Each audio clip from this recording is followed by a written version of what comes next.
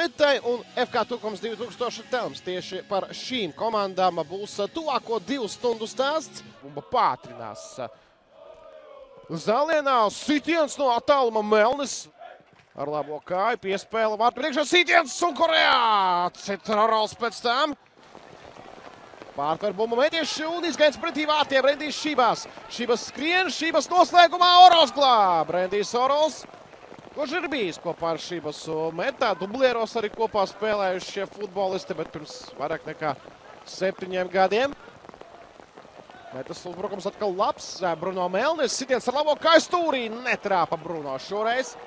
Dulli dodas cīņā, bet bumbu saglabā meta Čiņājās. Laba piespēle uz mēlu.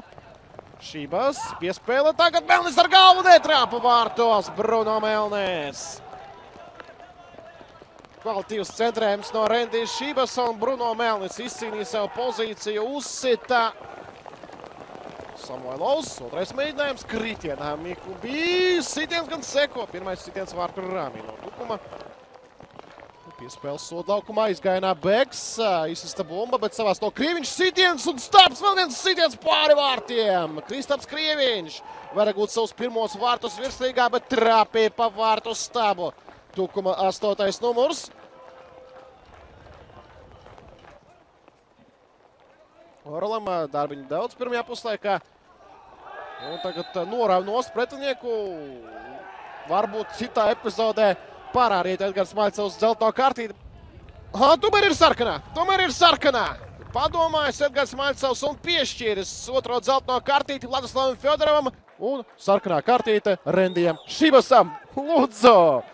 Deviņi vīru sastāvā paliek meta. Abi pieredzējušākie futbolisti nopelna sarkanās kartītes. Šoreiz Rendijs Šibas par uh, runāšanu, par nezinu, visādu komplimentu izteikšanu ir šur malā vēl. Piespēles sodu laukumā, tagad var uzsīst un Bēgs glāb. Pirmoreiz tā patiešām pa īstam glāb Jānis Bēgs.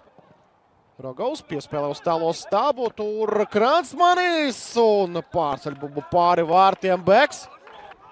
Ir sodākumā gar vārtiem uz to stābu un pa stābu trāpa šeit no vārtu priekšas Puzanovs.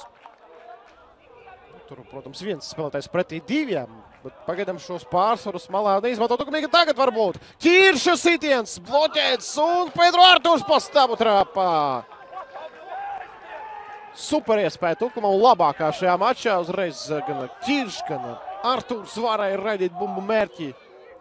Joprojām arī varam atzīmēt Lenkā sporta parka lāstu. Lai gan, protams, šodien var visār būt, bet te atcīt bēgs, vēlreiz atcīt bēgs un trešais sitiens galais atstāja bumbu.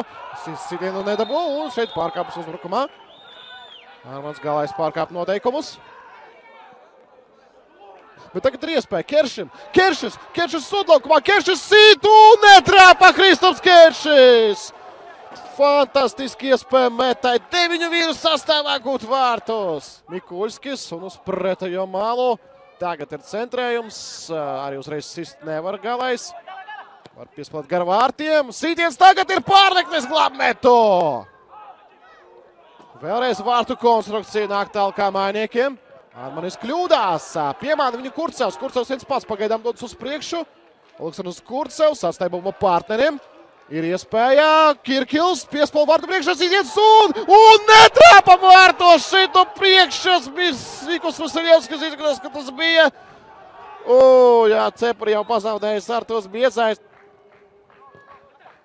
Pedro Artūrs labi palaista bumbā. Samoilovs sudlaukumā. Samoilovs! 1-0 tukums. Bogdans Samoilovs! Divas superiespējas neizmantoja Metā un Bogdans Samoilovs soda. Zaļi baltos par to. Tukums iespējams izrāja uzvaru šodienas mačā. Ļoti labi palaista bumba un tur flangā Bogdans Samoilovs viens pats. Rezultāts 0 pret 1 un standārts. Kristaps Keršis. Keršis sīt atcīt savu priekšā bumbu, bet tad tālu savu priekšā Orus. Vēlreiz mēģinājums un dabū bumbu tagad uh, Beks. Ruhādze, vēlreiz Beks pie pretinieka sodlaukuma. Keršis, Keršis vai Orols, Keršis pirmais pie bumbās. Ir iespēja metai Kurcevs sīts un tā aizstāps. Vārti! Vārti! Metā panāk neizšķirtu fantastiskā veidā. Deviņu vīru sastāvā